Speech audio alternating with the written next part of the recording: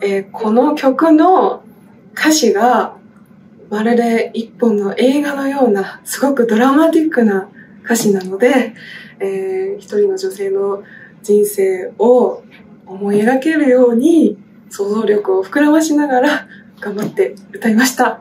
えーこの曲は3人で歌ったんですけれども、1番から3番まで、えーそれぞれ違った歌詞に合わせた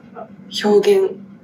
の歌い方、そしてハーモニーになった時の、えー美しさも合わせて楽しんでいただければと思います。